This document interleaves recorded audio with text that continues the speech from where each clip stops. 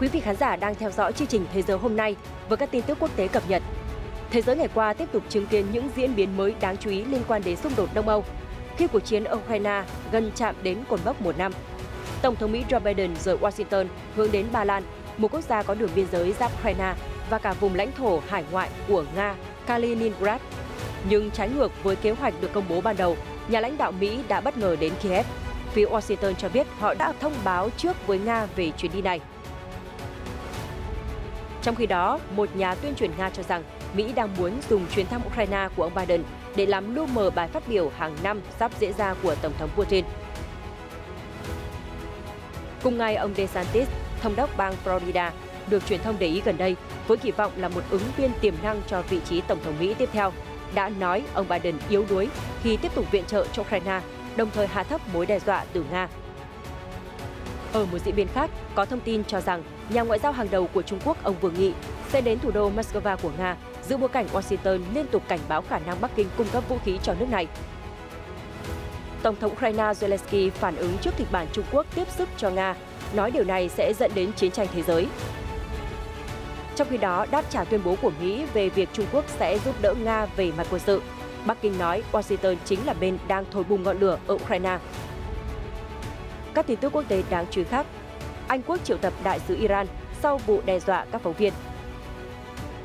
Hàn Quốc phát tín hiệu về tham vọng sở hữu vũ khí hạt nhân. Con gái cựu Thủ tướng Thaksin dẫn đầu cuộc bầu cử ở Thái Lan. Đáng chú ý vừa có thêm một trận động đất mạnh nữa ở biên giới Thổ Nhĩ Kỳ, Syria. Tay vợt Djokovic cân bằng kỷ lục của huyền thoại Steffi Graf. Mỗi ngày một câu chuyện, một hình ảnh thú vị.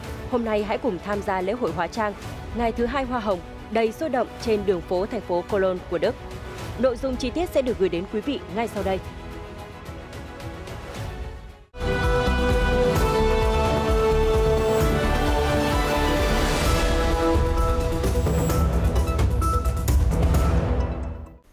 Chào mừng quý vị trở lại với chương trình Thế giới hôm nay ngày 21 tháng 2. Như thường lệ, chương trình mở đầu với những tin tức cập nhật về tình hình chiến sự Đông Âu. Thưa quý vị, ông Joe Biden hôm 20 tháng 2 đã có chuyến thăm lịch sử đầu tiên đến thủ đô Kiev của Ukraine trên cương vị là Tổng thống Mỹ trong bối cảnh của xung đột Đông Âu gần chạm mốc một năm. Cũng trong cùng ngày, nhà lãnh đạo Mỹ đã rời Kiev và hướng tới điểm dừng chân tiếp theo, thủ đô Warsaw của Ba Lan. Hình ảnh ghi lại tại sân bay quốc tế của Warsaw cho thấy Tổng thống Biden được chào đón bởi phái đoàn do Ngoại trưởng Ba Lan Marcin Perez đứng đầu. Đại sứ Mỹ tại Ba Lan Mark Brzezinski cũng có mặt trong lễ tiếp đón này. Trước đó, Tổng thống Biden đã có chuyến đi dạo quanh thủ đô Kiev của Ukraine. Ông cam kết rằng sẽ sát cánh cùng quốc gia đồng minh Đông Âu cho đến chừng nào còn có thể. Theo Reuters, để đến Kiev, Tổng thống Biden đã bay từ Mỹ đến căn cứ không quân Rheinstein của nước này ở Đức. Sau khi được tiếp nhiên liệu, chuyên cơ chở lãnh đạo Mỹ tiếp tục hướng đến thành phố Rzeszów ở đông nam Ba Lan. Ông Biden sau đó đi xe một tiếng đến Bremen, một thành phố dọc biên giới Ba Lan, Ukraine, rồi ngồi tàu đến Kiev. Cố vấn an ninh quốc gia Jake Sullivan mới đây cho biết Washington đã thông báo trước cho Moscow về chuyến thăm của Tổng thống Biden đến Kiev. Theo kế hoạch được công bố với truyền thông trước đó, nhà lãnh đạo Mỹ sẽ thăm Ba Lan nhưng không đến Ukraine. Chúng tôi quyết định báo cho Nga rằng Tổng thống Biden sẽ tới Kiev, ông Sullivan nói, đồng thời cho biết thêm thông báo được gửi đi vài giờ trước khi Tổng thống Biden rời Washington với mục đích giảm nguy cơ xung đột. Vị quan chức Mỹ không nêu cụ thể cách thức liên lạc hay phản ứng của Moscow sau khi nhận thông tin. Theo đài RT, ông Dmitry Medvedev, cựu Tổng thống Nga và hiện là Phó Chủ tịch Hội đồng An ninh cho biết trên Telegram rằng ông Biden đã nhận được sự đảm bảo an toàn từ Moscow cho chuyến thăm đến Kiev. Cũng trong bài đăng, ông Medvedev đã gọi nhà lãnh đạo Mỹ là ông già bên kia đại dương, đồng thời gọi việc Washington viện trợ cho Ukraine là cách để ngành công nghiệp quân sự của các nước NATO thu lợi nhuận. Cũng trong ngày 20 tháng 2, Chủ tịch của câu lạc bộ thảo luận Vadai ở Nga, Andrei Bichetsky nói với TASS rằng chuyến thăm của Tổng thống Mỹ Joe Biden đến Ukraine cùng với chuyến đi của Ngoại trưởng Mỹ Antony Blinken đến Thổ Nhĩ Kỳ là nhằm mục tiêu phá tan sự chú ý của công chúng vào lễ phát biểu thường niên của Tổng thống Putin trước Quốc hội Liên bang Nga diễn ra trong ngày 21 tháng 2. Theo ông Bichetsky, hai chuyến thăm này là một cuộc tấn công tuyên truyền vào thông điệp hàng năm của nhà lãnh đạo nước Nga – Ông nói, chúng ta đang chứng kiến một sự đối đầu của phương Tây chống lại Moscow. Họ đang cố gắng ngăn chặn chương trình nghị sự của chúng ta. Theo chuyên gia này, giới lãnh đạo Hoa Kỳ đang muốn tạo sức ảnh hưởng với công chúng trong nước để chuẩn bị cuộc bầu cử tổng thống tiếp theo. Ông Bichitsky nói, kỳ bầu cử ở Mỹ đang đến gần, trong khi Tổng thống Biden không đạt được thành tựu nổi bật nào trong thời gian qua. Do đó, sự thành công ở Ukraine sẽ giúp cho Đảng Dân Chủ có thế cạnh tranh lớn trong đợt tranh cử năm 2024. Bên cạnh đó, Ngoại trưởng Blinken đến Thổ Nhĩ Kỳ là nhằm thúc đẩy nước này đồng ý cho Thụy Điển và Phần Lan gia nhập NATO. Người Mỹ cho rằng sau thảm họa động đất, Ankara sẽ thay đổi. Tuy nhiên, ông Bichitsky khẳng định hai chuyến đi này sẽ không làm thay đổi bất cứ điều gì. Trước đó, Tổng thống Mỹ Joe Biden đã bất ngờ đến thủ đô Kiev của Ukraine và công bố gói viện trợ mới trị giá 500 triệu đô la Mỹ. Đây là chuyến thăm đầu tiên của ông Biden đến Ukraine. Trong khi đó, Ngoại trưởng Blinken cũng đã đến Thổ Nhĩ Kỳ để gặp người đồng cấp Mevlut Cavusoglu. Hai nhà lãnh đạo đã thảo luận về việc phê chuẩn tư cách thành viên NATO của Thụy Điển và Phần Lan. Liên quan đến bài phát biểu trước Quốc hội Liên bang Nga của Tổng thống Nga Putin hôm 21 tháng 2, theo phát ngôn viên Điện Kremlin, ông Dmitry Peskov, buổi lễ sẽ diễn ra ở trung tâm Gostiny Dvor của thủ đô Moscow. TASS dẫn lời ông Peskov cho biết bài phát biểu của ông Putin sẽ định hướng về chính sách đối nội và đối ngoại. Đây là những nền tảng để hình thành nên các mục tiêu chiến lược. Tổng thống Putin cũng sẽ ưu tiên phát triển kinh tế xã hội và đảm bảo an ninh cho Nga. Buổi phát biểu được tổ chức theo nghi thức truyền thống. Ông Peskov không tiết lộ thêm chi tiết về bài phát biểu. Tuy nhiên, theo ông, Tổng thống Putin có thể nhấn mạnh vào tác động của hoạt động quân sự đặc biệt đang diễn ra ở Ukraine đến nền kinh tế và xã hội nước Nga. Ông Peskov nói, hoạt động quân sự đặc biệt ở Ukraine đã làm thay đổi cuộc sống của chúng ta theo một cách khác và tác động đến tình hình của toàn châu Âu. Vì vậy, Tổng thống Putin sẽ nói nhiều hơn về vấn đề này. Nhiều người dân Nga đang rất muốn nghe về tình hình Ukraine cũng như tầm nhìn của chính phủ về cách chúng ta vượt qua lệnh trừng phạt và phát triển trong tương lai. Theo TASS, nhiều chính trị gia trong Hạ viện Nga tin rằng chiến dịch quân sự đặc biệt sẽ là chủ đề chính trong bài phát biểu. Người phát ngôn Điện Kremlin không đề cập đến việc những khách mời nước ngoài nào tham dự vào buổi diễn văn của ông Putin. Thông thường, các buổi lễ trước đây sẽ có sự tham dự của các nhà lập pháp, thượng nghị sĩ, thành viên chính phủ, quan chức cấp cao trong nội các, người đứng đầu văn phòng Tổng công tố và Tòa án tối cao cùng các thống đốc. Thưa quý vị, giữa lúc Tổng thống Joe Biden thăm Ukraine và Ba Lan nhân dịp xung đột Đông Âu tròn một năm, có thông tin cho rằng nhà ngoại giao hàng đầu của Trung Quốc ông Vương Nghị sẽ đến Moscow. Chặng cuối cùng trong chuyến công du châu Âu của ông dự kiến kết thúc vào ngày 22 tháng 2. Người phát ngôn Điện Kremlin Dmitry Peskov hôm 20 tháng 2 đã xác nhận chuyến đi của ông Vương Nghị đến Moscow, nhưng không cung cấp thời gian cụ thể. Ông nói chúng tôi không loại trừ một cuộc gặp giữa ông Vương và Tổng thống Putin. Chương trình nghị sự sẽ rất bao quát vì có nhiều điều để thảo luận. Theo tờ Kommersant của Nga, chuyến thăm Moscow lần này của ông Vương Nghị có mục đích chính là nhằm tăng cường vai trò của Trung Quốc trong việc giải quyết xung đột Ukraine. Cho đến nay, phía Bắc Kinh chưa có bình luận chính thức về thông tin trên. Ông Vương trong bài phát biểu trước đó cho biết Trung Quốc không muốn cuộc khủng hoảng ở Ukraine tiếp tục kéo dài và lan rộng. Nhà ngoại giao khẳng định Bắc Kinh sẵn sàng hợp tác với cộng đồng quốc tế để ngăn chặn tình hình tiếp tục leo thang và hơn hết là đạt được một giải pháp hòa bình. Thông tin ông Vương Nghị đến thăm thủ đô Moscow của Nga được đưa ra trong bối cảnh xung đột Ukraine sắp tròn một năm, đồng thời phía Washington vài ngày qua liên tục đưa ra cảnh báo về khả năng Trung Quốc sẽ cung cấp vũ khí cho Nga. Cũng phản ứng về mối lo ngại này, Tổng thống Ukraine Volodymyr Zelensky nói nếu Moscow nhận được sự hỗ trợ từ Bắc Kinh, điều này sẽ dẫn đến chiến tranh thế giới. Trong cuộc phỏng vấn với Nhật báo Die Welt của Đức, ông Zelensky nói, đối với chúng tôi, điều quan trọng là hiện tại Trung Quốc không hỗ trợ Nga trong cuộc chiến. Thực ra tôi muốn Bắc Kinh sẽ đứng về phía chúng tôi, nhưng nó không khả thi. Nhưng nếu Trung Quốc liên minh với Nga, sẽ có một cuộc chiến tranh thế giới. Tôi nghĩ rằng Bắc Kinh nhận thức được điều này. Cuối tuần trước, Ngoại trưởng Mỹ Antony Blinken đã nêu mối lo ngại về khả năng Trung Quốc sẽ hỗ trợ quân sự cho Nga khi gặp nhà ngoại giao hàng đầu của Trung Quốc, ông Vương Nghị, bên lề hội nghị an ninh Munich ở Đức. Ông Blinken khuyến cáo Bắc Kinh về hậu quả nghiêm trọng đối với quan hệ hai nước nếu kịch bản này xảy ra. Trong khi đó, Đại sứ Mỹ tại Liên Hợp Quốc Linda Thomas Greenfield cũng cảnh báo rằng Trung Quốc hoặc bất kỳ bên nào có ý định hay nỗ lực cung cấp vũ khí sát thương cho Nga trong chiến dịch quân sự Ukraine đều là điều không thể chấp nhận. Đó là lằn danh đỏ. Cũng liên quan đến tuyên bố của Washington về việc Trung Quốc đang xem xét cung cấp vũ khí cho Nga, phía Bắc Kinh mới đây đã lên tiếng bác bỏ, nói rằng chính Mỹ mới là bên đổ vũ khí vào chiến trường Đông Âu. Phát biểu trong cuộc họp báo hôm 20 tháng 2, người phát ngôn Bộ Ngoại giao Trung Quốc Uông Văn Bân nói, không giống như Washington, Bắc Kinh luôn ủng hộ một giải pháp hòa bình kể từ khi xung đột ở Ukraine nổ ra. Nhà ngoại giao nhấn mạnh, cộng đồng quốc tế hoàn toàn có thể nhận thức được ai đang kêu gọi đối thoại và nỗ lực vì hòa bình, ai đang thổi bùng ngọn lửa và châm ngòi cho sự đối đầu. Chúng tôi kêu gọi Washington nên nghiêm túc xem xét về vai trò của mình, cũng như có những động thái giúp giảm leo thang và thúc đẩy các cuộc đàm phán hòa bình, thay vì đổ lỗi và phát tán thông tin sai lệch. Quan hệ giữa Bắc Kinh và Washington đã tiếp tục giảm sút sau khi Mỹ bắn hạ chiếc khinh khí cầu mà họ cho là thiết bị do thám của Trung Quốc. Bắc Kinh phủ nhận mọi cáo buộc, khẳng định chiếc khinh khí cầu được sử dụng với mục đích nghiên cứu khí tượng. Cùng ngày, Ngoại trưởng Trung Quốc Tần Cương cũng đưa ra những bình luận về xung đột ở Ukraine. Cụ thể, nhà ngoại giao bày tỏ sự quan tâm sâu sắc khi cuộc chiến ở Ukraine tiếp tục leo thang và có thể mất kiểm soát. Trong một hội nghị an ninh toàn cầu tổ chức ở Bắc Kinh, ông Tần đã nói rằng Trung Quốc sẽ làm việc với cộng đồng quốc tế để thúc đẩy đàm phán hòa bình cho Nga và Ukraine. Trung Quốc tuyên bố sẽ đưa ra đề xuất trong tuần này để tìm ra giải pháp chính trị cho cuộc khủng hoảng Ukraine, ngay đúng cột mốc một năm xảy ra giao tranh. Ông Tần nói thêm, cùng lúc đó Bắc Kinh cũng sẽ ngăn chặn các quốc gia khác không đổ thêm dầu vào lửa cho cuộc chiến và ngừng đổ lỗi cho Trung Quốc. Tuyên bố được ông Tần Cương đưa ra sau khi Mỹ công khai nghi ngờ Trung Quốc hỗ trợ vũ khí cho Nga. Liên quan đến vấn đề đảo Đài Loan, ông Tần Cương cho rằng các quốc gia khác nên ngừng phán đoán theo cái gọi là hôm nay là Ukraine, mai là Đài Loan. Trước đó, tại Hội nghị an ninh Munich, chủ nhiệm văn phòng Ủy ban Công tác Đối ngoại Trung ương Đảng Cộng sản Trung Quốc ông Vương Nghị đã bày tỏ sự phản đối về những cuộc giao tranh xung quanh các cơ sở hạt nhân ở Ukraine và sử dụng vũ khí sinh học. Không chỉ Trung Quốc, Thổ Nhĩ Kỳ, một quốc gia thành viên NATO trong thời gian qua cũng vướng vào cáo buộc giúp đỡ quân đội Nga. Mới đây, Ankara đã lên tiếng đáp trả. Phát biểu tại cuộc họp báo chung với người đồng cấp Mỹ Antony Blinken hôm 20 tháng 2, Ngoại trưởng Thổ Nhĩ Kỳ Mevlut Cavusoglu đã bác bỏ thông tin cho rằng Ankara đang giúp Nga né tránh các biện pháp trừng phạt của phương Tây bằng cách gửi các mặt hàng công nghệ đến nước này. Nếu có bất kỳ vi phạm nào, chúng tôi sẽ làm mọi thứ cần thiết để ngăn chặn, nhà ngoại giao khẳng định.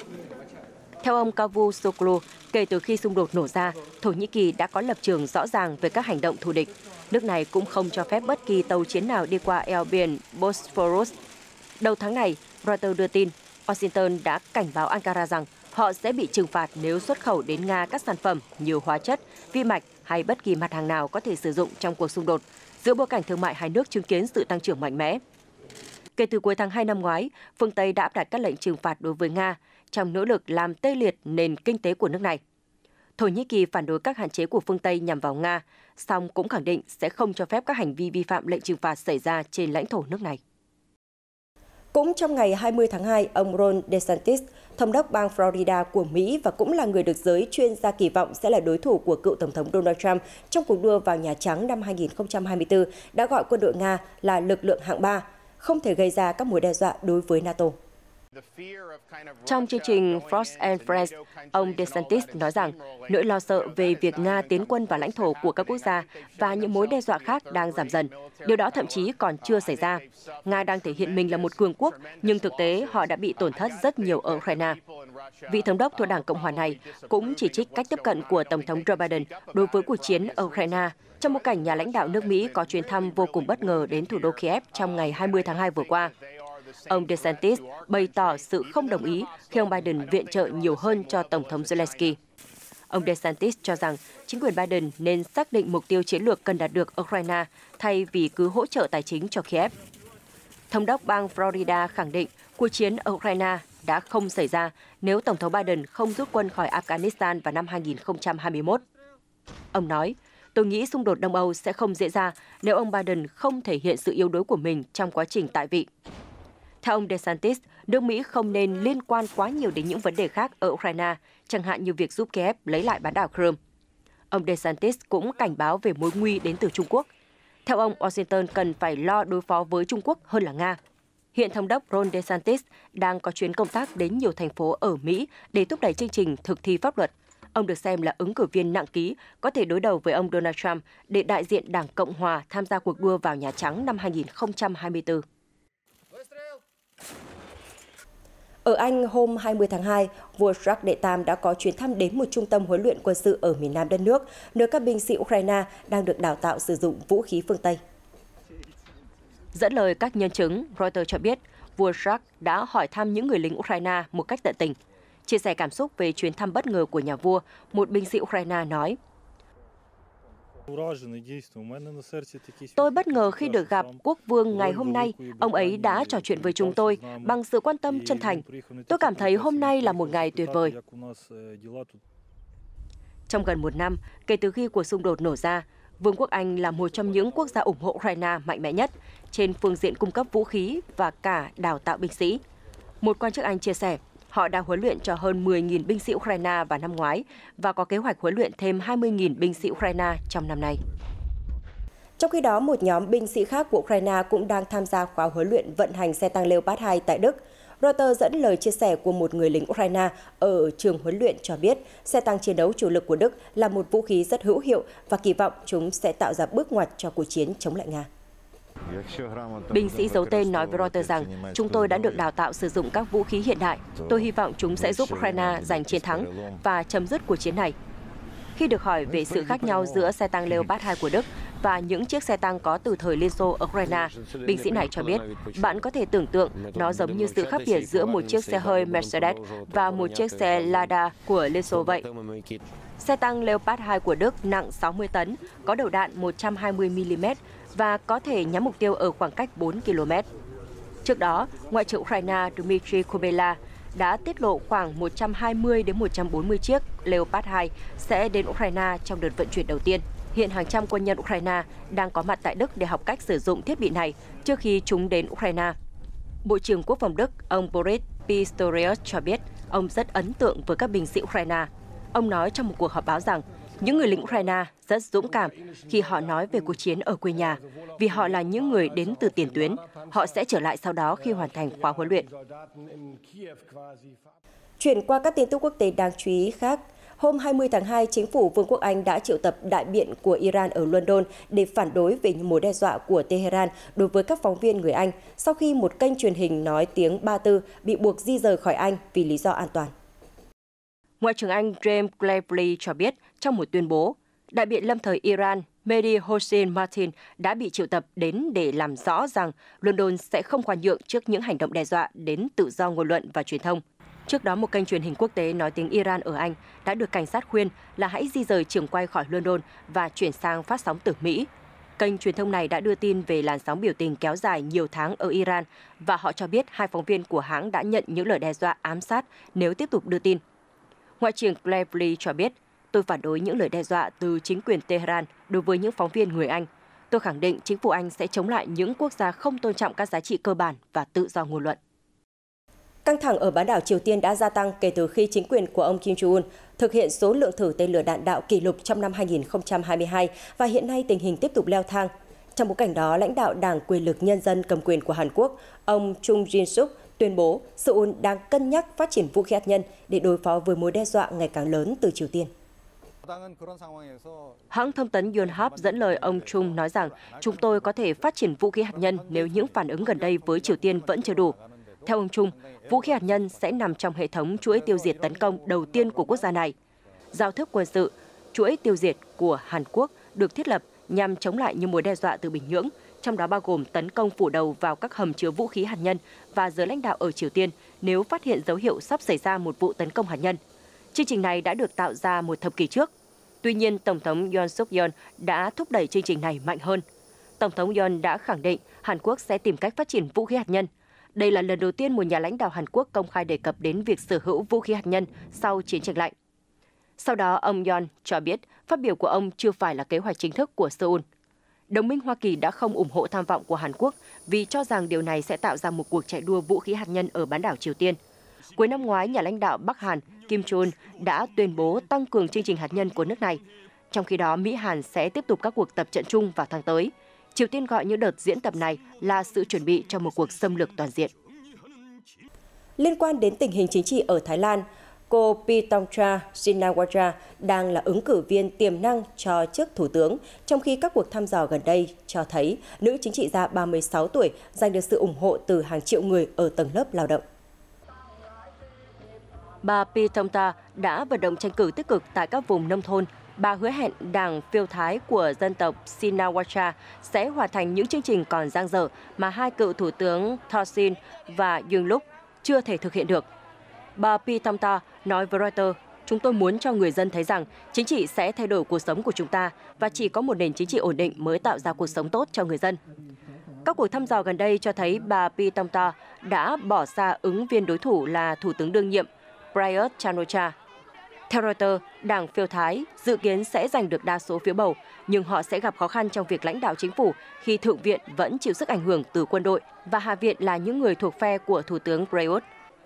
Cuộc bầu cử ở nền kinh tế lớn thứ hai Đông Nam Á đang diễn ra vô cùng căng thẳng. Bà Piramcha cho biết những cuộc đảo chính và tranh giành quyền lực đã khiến kinh tế Thái Lan đi lùi. Bà nói, tôi không đối đầu với các nhóm đối lập, điều đó chỉ làm ảnh hưởng đến đất nước. Thái Lan đã bị chậm lại quá lâu, do đó các cuộc đảo chính sẽ không được phép tái diễn. Chuyển sang các tin tức xã hội văn hóa thể thao đáng chú ý trên thế giới. Mới đây, một vụ nổ lớn đã xé toạc một nhà máy kim loại ở bang Ohio của Mỹ, khiến đất đá và nhiều mảnh kim loại nóng văng sang các tòa nhà lân cận, làm ít nhất 14 người bị thương, hầu hết do bỏng. Sự việc xảy ra tại nhà máy kim loại 1 Truman Co. ở thành phố Bedford, Đông Bắc Ohio. Nhận được tin báo, lực lượng chức năng nhanh chóng có mặt tại hiện trường, triển khai các công tác cứu hộ cứu nạn. Brian DiRocco, một quan chức cứu hỏa cho biết, trong số những người bị thương có ít nhất một người đang trong tình trạng nguy kịch. Hiện chưa rõ nguyên nhân vụ nổ. Đại diện nhà máy xảy ra sự cố cũng chưa có phản hồi về vụ việc. Theo thông tin từ trang web của công ty, doanh nghiệp này hoạt động từ năm 1917. Vụ nổ hôm 20 tháng 2 cách East Palestine, Ohio, khoảng hơn 100 km về phía tây bắc. Đây là nơi hồi đầu tháng vừa chứng kiến một tai nạn đường sắt nghiêm trọng. Một đoàn tàu chở hóa chất độc hại đã chật bánh, gây đám cháy lớn, buộc hàng nghìn người dân địa phương phải sơ tán. Ở khu vực Trung Á, một trận động đất nữa vừa xảy ra tại khu vực biên giới Thổ Nhĩ Kỳ và Syria, chỉ hai tuần sau khi khu vực này bị tàn phá bởi hai trận động đất có cường độ lớn hơn, khiến 47.000 người thiệt mạng và hàng trăm nghìn ngôi nhà bị hư hại hoặc phá hủy. Reuters dẫn dữ liệu của Trung tâm Địa chấn Địa Trung Hải châu Âu EMSC cho biết, trận động đất hôm 20 tháng 2 mạnh 6,3 độ Richter với tâm chấn có độ sâu 2 km, gần thành phố Antakya, miền nam Thổ Nhĩ Kỳ. Người dân Syria, Ai Cập và Liban có thể cảm nhận được sự rung lắc. Theo truyền thông địa phương, trận động đất mới khiến một số tòa nhà đổ sập, làm ít nhất 3 người chết và hơn 200 người bị thương.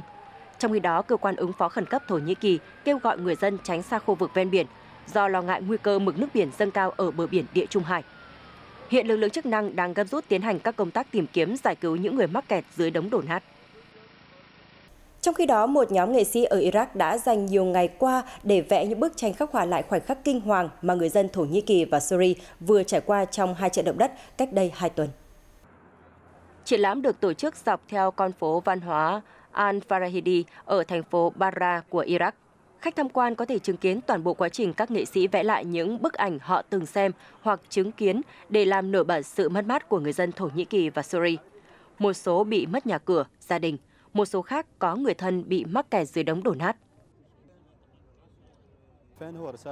Chúng tôi muốn khắc họa chân thật những bi kịch đến cộng đồng, qua đó kêu gọi mọi người hỗ trợ các nạn nhân, những người bị ảnh hưởng bởi thảm họa. Hôm 6 tháng 2, hai trận động đất mạnh 7,7 và 7,6 độ Richter đã tàn phá một khu vực rộng lớn ở miền nam Thổ Nhĩ Kỳ và miền Bắc Syria. Cho đến nay, hơn 47.000 người được xác định đã thiệt mạng trong thảm họa này, trong khi nhiều người vẫn còn mất tích.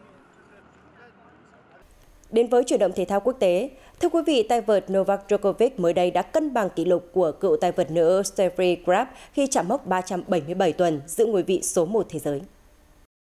Theo bảng điểm do ATP công bố tuần này, Djokovic đứng số 1 với 7.070 điểm, hơn lần lượt 590 điểm và 1.130 điểm so với tay vợt xếp thứ hai Carlos Alcaraz và xếp thứ ba Stefanos Tsitsipas.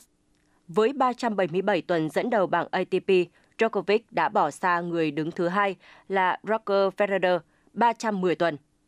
Nếu bảng xếp hạng vẫn giữ nguyên cho đến tuần sau, Nole sẽ chính thức phá kỷ lục về số tuần đứng đầu số 1 thế giới do huyền thoại Đức Stevie Graf thiết lập vào tháng 3 năm 1977.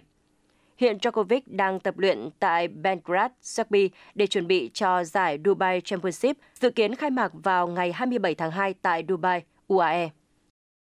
Cuối cùng thì hãy cùng với chúng tôi đến thành phố Cologne của Đức để cùng đắm mình vào bầu không khí sôi động của lễ hội ngày thứ hai Hoa Hồng. Năm nay, sự kiện trở lại đầy sôi động sau 2 năm tạm hoãn do Covid-19 và cuộc xung đột ở Ukraine. Mặc những trang phục hóa trang và đi trên những cỗ xe lớn, đoàn người diễu hành đã mang đến niềm vui cho những người tham gia lễ hội đứng đông nghẹt ở hai bên đường. Lễ hội năm nay cũng đánh dấu lần thứ 200 sự kiện được tổ chức. Tôi không thể diễn tả hết niềm vui khi một lần nữa được tham gia lễ hội. Đây là một lễ hội hóa trang tuyệt vời, tôi rất hạnh phúc. Chúng tôi rất phấn khích, chúng tôi đã ở đây từ 6 giờ sáng để trải nghiệm mọi khoảnh khắc của lễ hội. Ở đây có rất nhiều màu sắc và niềm vui. Bên cạnh hoạt động phân phát kẹo cho những người tham gia, những cỗ xe mang chủ đề về xung đột Ukraine, sự kiện Anh rời khỏi EU hay các cuộc biểu tình ở Iran cũng là một điểm nổi bật của lễ hội. Lễ hội ngày thứ hai Hoa Hồng hay còn được biết đến với cái tên Rosenmontag từ lâu đã trở thành một trong những lễ hội đặc trưng ở Đức mà du khách không thể bỏ qua. Những hình ảnh đặc sắc về lễ hội ngày thứ hai Hoa Hồng ở Đức vừa rồi đã khép lại chương trình Thế giới hôm nay. Cảm ơn sự quan tâm theo dõi của quý vị. Xin kính chào và hẹn gặp lại.